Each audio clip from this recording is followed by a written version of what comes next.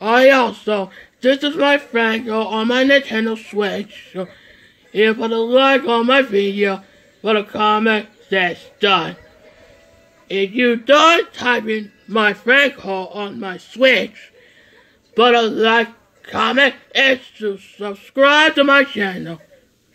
So yeah, see you tonight.